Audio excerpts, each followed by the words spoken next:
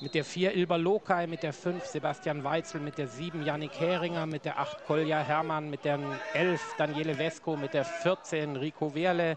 Gegen die TSG Balingen 7 zu 0 Heimsieg und davor auswärts 3 zu 1 Sieg gegen die ähm, Barockstadt Fulda Lehnertz. Aktion bislang beteiligt.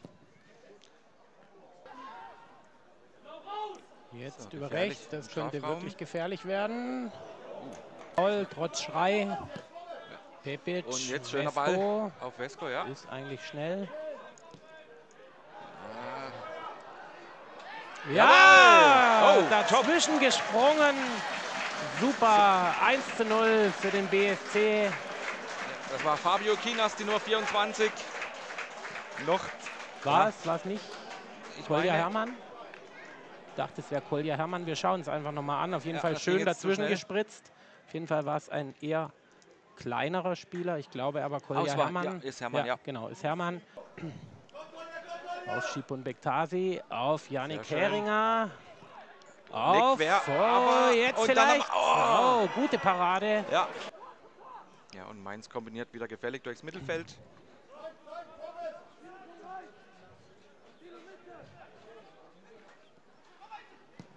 Achtung, der, und ist, der ist drin.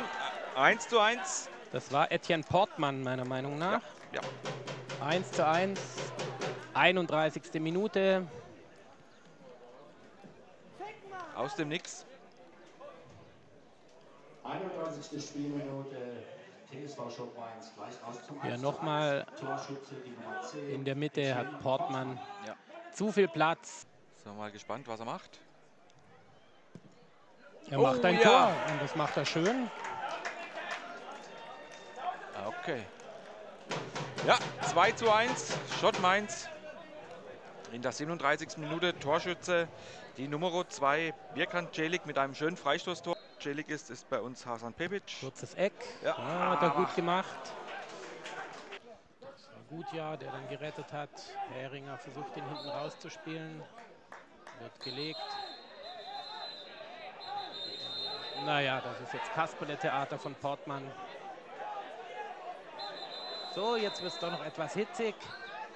Kann man sagen, das ist unser altarmäßiger Sturm, der jetzt aufs Spielfeld gekommen genau. ist. Oh, ja. ja. So, jetzt vielleicht. Ähm, jawohl, Köp. Ah! Äh, schade. Ärgerlich. Schön. Ja. Jetzt vielleicht die Entscheidung. Fragezeichen. Ja, und jetzt gibt es Elfmeter. Oh, nee, nee kein Elfmeter. Ja, sehr schön. Hat man jetzt Zeit? Ja, Sonnenball ja, schießt also. dann das Tor. Wow. Mann! Puh, da stand Lukas aber tatsächlich auch. Stand aber tatsächlich sehr frei. Jawohl. Gut, dass wir unterbrochen haben in ja. unserem Ergebnisspiel. Sonnenwald rennt zu Dennis Müller. 2 zu 2, na also, jetzt dürfte es vorbei sein. Jawohl. So ist es. Das Spiel ist zu Ende. 2 zu 2 trennen sich der Balinger SC und der TSV Schott Mainz.